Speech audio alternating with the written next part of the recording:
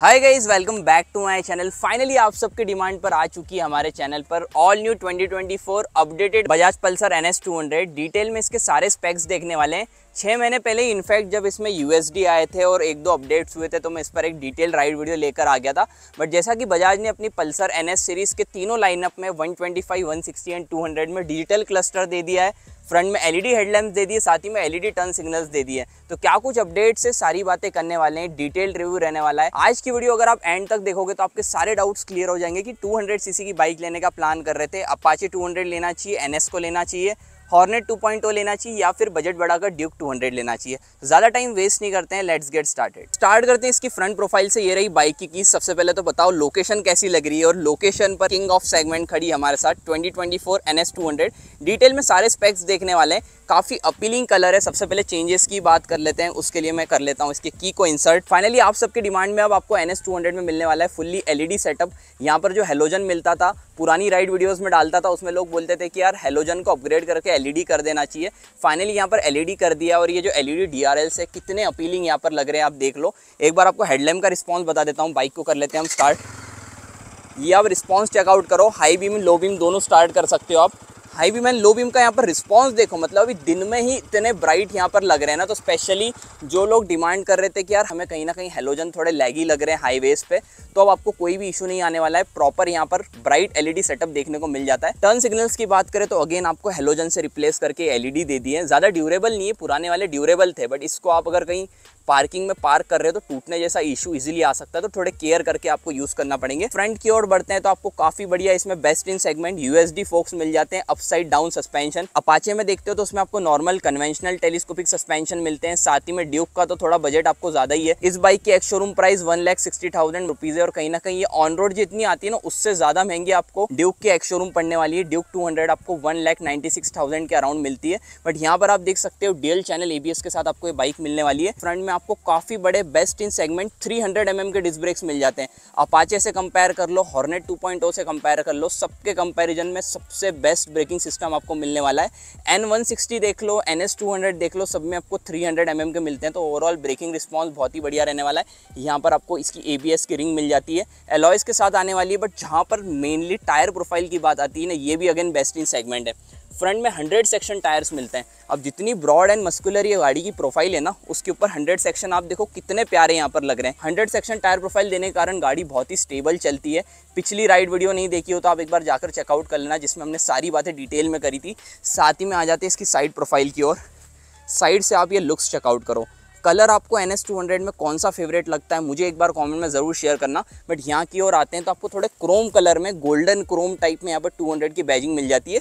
पुरानी एनएस में भी आती थी बट जो बड़े अपडेट्स थे हेडलैम्प सेटअप टर्न सिग्नल्स वो मैंने आपको बता दिया इंस्ट्रूमेंटल क्लस्टर की ओर भी बढ़ने वाले बट फाइनली यहाँ पर देखेंगे तो यहाँ पर आपको कूलेंट लेवल शो कर रहा है। अब फाइनली बढ़ते हैं इस बाइक के हार्ट की ओर, जिसके कारण ये गाड़ी इंडियन मार्केट में इतने सालों से फ़ेमस है, वो है इसका engine B S three B S four owners अगर ये वीडियो देख रहे तो एक बार कमेंट में ज़रूर बताना because B S three B S four की बात अलग थी। बट अगर अब नए लेटेस्ट डिस्प्लेसमेंट की बात करें तो इसमें आपको 199.5 सीसी का single cylinder four stroke D T S I triple spark liquid cooled engine मिलने वाला है, जो कि 24.5 पीएस की पावर एंड 18.73 एनएम ऑफ़ ईक टॉर्क प्रोड्यूस करती है। नेक्स्ट लेवल पावर रहने वाली है।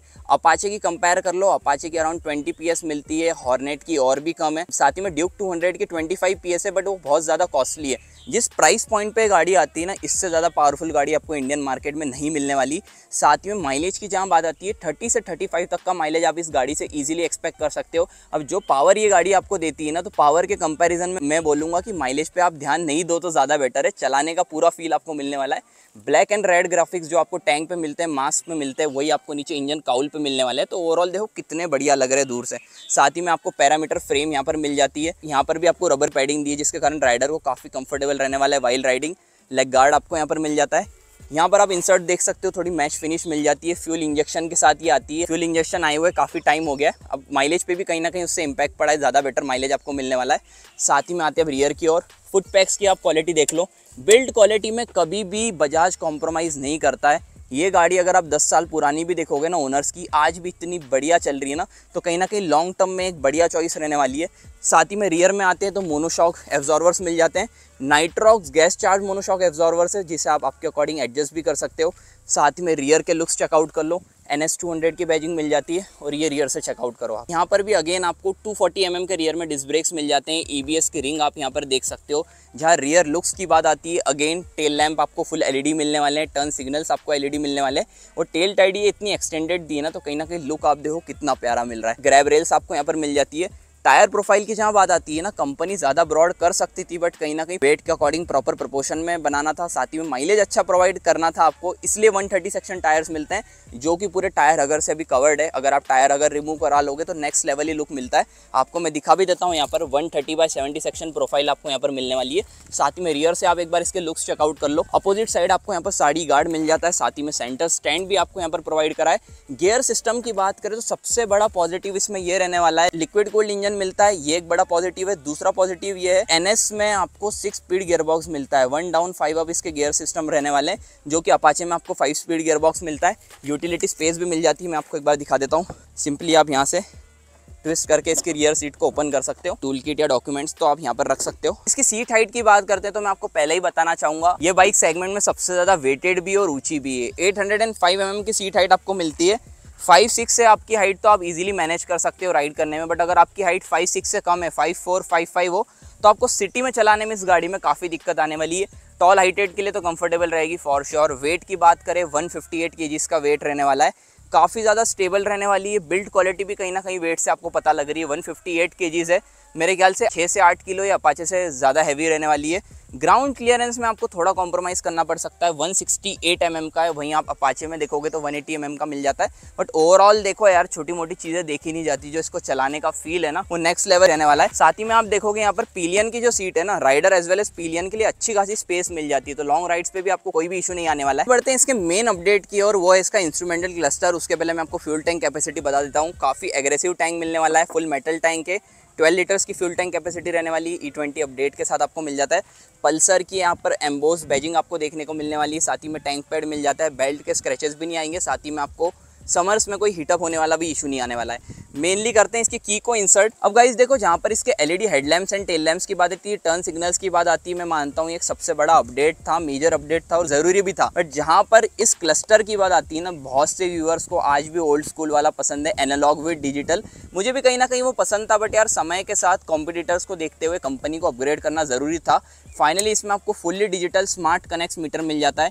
यहाँ पर आपको ट्वेल्व थाउज़ेंड तक का आरपीएम शो कर रहा है ब्लूटूथ कनेक्टिविटी के साथ मिलता है, जिसमें आपको SMS alert call alert turn by turn navigation show करेगा।